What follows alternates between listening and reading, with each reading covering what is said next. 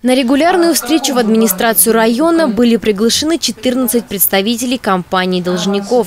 Однако пришли далеко не все, только половина. В том числе компании Skyline Gold, Трес Мосэлектротекстрой, Артпаке, Заречье Инвест и Витрина. Их суммарный долг перед бюджетом почти 65 миллионов рублей. Разброс в цифрах впечатляет. От 436 тысяч до 35 миллионов рублей. По состоянию на 4 апреля погашена задолженность во всех уровнях бюджетной системы должниками в объеме 54,3 миллиона рублей или 8,8% от суммы задолженности по всем плательщикам, которые были приглашены на заседание комиссии.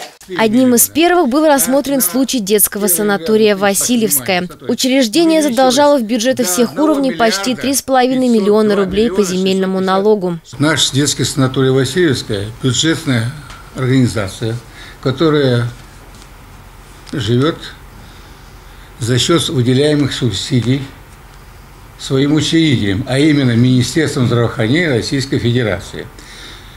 До 2013 года учреждение добросовестно оплачивало земельный налог.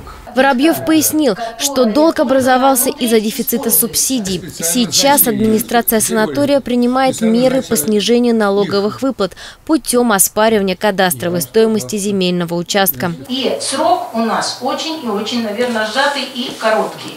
В течение следующей недели необходимо решать вопрос уплаты налога в бюджет. На встрече было принято решение доложить о сложившейся ситуации в Минздрав России. Для этого будет подготовлено письмо за подписью главы Одинцовского района Андрея Иванова.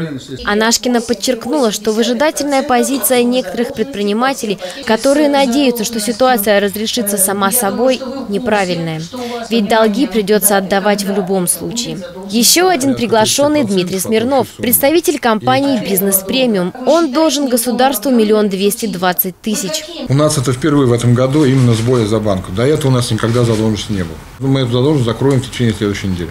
У компаний должников осталось совсем мало времени. 15 апреля они должны погасить все свои задолженности. Дарья Сутягина, Артем Ломоносов, телекомпания «Одинцова».